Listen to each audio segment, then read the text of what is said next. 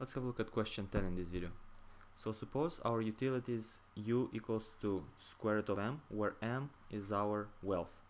Now if we have an initial wealth of 16, are we gonna gamble or not? And this is the gamble, the gamble that we had in question 9. So we have a 1 over 4 probability of winning 20, 1 over 4 probability of winning 9, 1 over 4 probability of losing 7, and 1 over 4 probability of losing 16. Now, when we want to decide between a gamble and a certainty, so basically we have two options. Either not take the gamble, so in that case our expected utility would be the square root of our $16 because we would not win and not lose anything. We would have for sure a utility of 4 units. But if we take the gamble, if we take the gamble, so expected utility from taking the gamble, well, we have to take into account all these probabilities. So for instance, we would have a 1 over 4 probability of having a utility of square root of 16 plus the 20 that we'd win. So our utility would go up by this amount. Plus we would have a 1 over 4 probability to have a utility of 16 plus 9. So plus 9.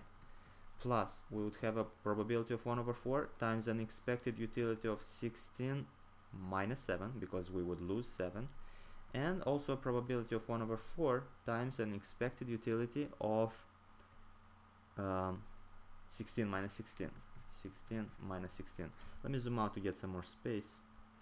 And let's do the math over here and we're gonna compare the expected utilities. So the expected utility of the gamble let me go below a bit. The expected utility of this gamble would be 1 over 4 times square root of 16 plus 20, that's 36, plus 1 over 2 times square root of 16 plus 9, that's 25, plus 1 over 4 times square root of 16 minus 7, that's just 9, plus 1 over 4 times square root of 16 minus 16 is 0. Let's solve this.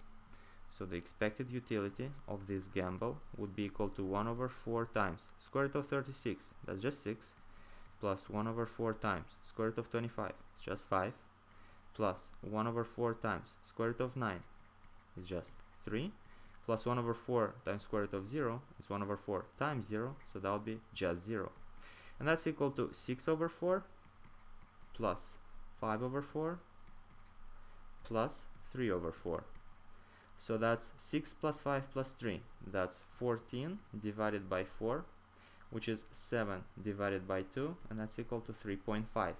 Now we have to compare 3.5 with the expected utility from not taking the gamble.